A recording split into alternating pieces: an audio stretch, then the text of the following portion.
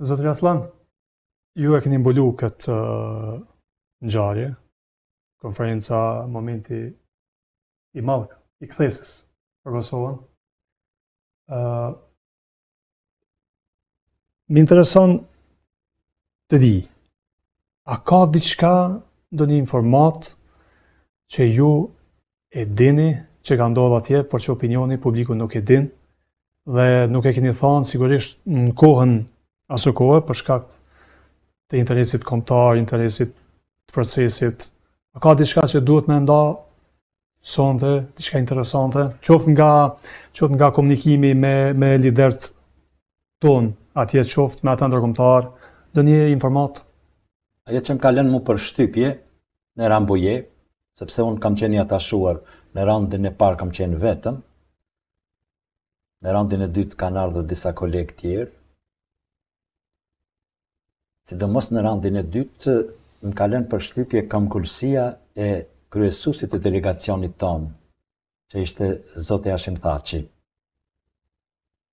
Ju e dini që ai kërkoi një kohë për të konsultuar zonat operative të UÇK-së në Kosovë dhe konferenca u ndërpre për 10 ditë. Pastaj rifilloi në Paris dhe përfundoi me nënshkrimin e marrëveshjes me 18 mars. një mijë e nëntëqind e nëntëdhjetë e nëntë, për faktin që marrëveshja nuk ishte diçka që sillte pavarësinë. Ajo ende njifte sovranitetin e të ashtuquajturës Jugosllavi, Sërbi Mali Zi. Mirëpo, atë që dua ta them është këmbëngulësia e Hashim Thaçit që unë e kuptova nëpërmjet sekretares amerikane të shtetit Madeleine Albright.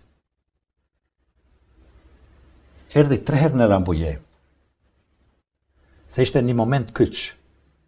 Dhe falë Hashim Thaçit, Në një nga klauzolat e dokumentit që po ta kisha ditë e kisha sjellë, në një nga klauzolat e dokumentit të Rambujesë është futur një paragraf që faktikisht e paraprojektonte ose e projektonte edhe pavarësinë.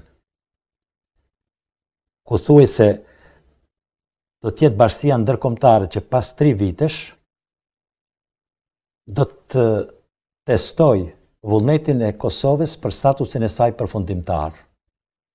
Kjo klauzolë është futur, se e parafrazova se nuk e di përmendsh, po kjo është fryma e klauzolës, kjo klauzolë është futur me këmbëngulësi të Hashim Thaçit. Dhe Albright e thotë, ky nuk e quan as lider, ky djali thotë është shumë i ri, por është shumë këmbëngulës. Më detyroi thotë që të vij tre herë këtu, dhe atë çfarë ai e projektoi dhe e propozoi e kam futur në dokument. Dhe kryefjala e gjithë përmbajtjes së dokumentit të Rambujesë është kjo klauzolë për mua.